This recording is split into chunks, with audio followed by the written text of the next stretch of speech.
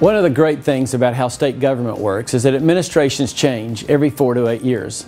This gives us a chance to get a new perspective on how we do things on Capitol Hill. Although the entire cabinet is not new, we do have several new faces on what is mostly a new team.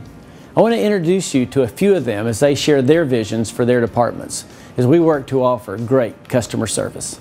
Well, certainly our vision is that Tennessee will become the healthiest state in the nation.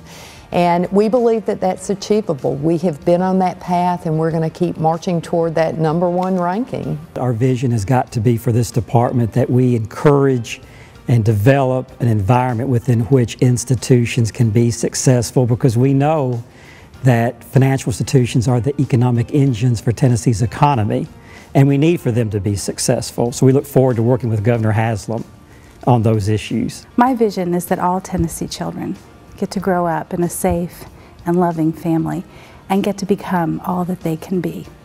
Now, for us to do that, we're going to have to work with others. The state cannot do it all.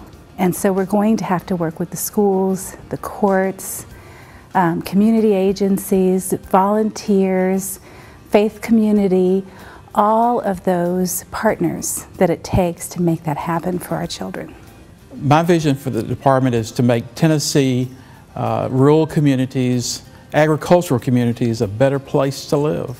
I believe we can do this by creating incentives for new jobs to be developed in the rural areas, to make sure that the agriculture community grows in like kind with uh, our urban businesses and so forth, uh, to develop jobs and to have the same opportunity that the urban areas have. Well, I think the most important thing for a department like the Department of Mental Health and Substance Abuse Services that we be really responsive to the people we serve, that we treat them with dignity and respect.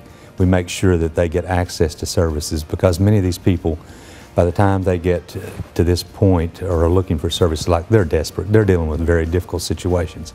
And I want to make sure that through the contract agencies we work with, or whether it's a contract through our department, or if it has to be at one of our state psychiatric facilities, that we really handle them or deal with them in a very caring and kind and compassionate way. Our whole vision is we want to make sure that everybody in the world, but particularly in the domestic U.S., is aware of what a great vacation destination uh, Tennessee is. All three grand regions, I mean, we have Memphis, we have Nashville, and we have the Smokies, three of the biggest, uh, I would call them anchors as far as uh, tourism travel in the world.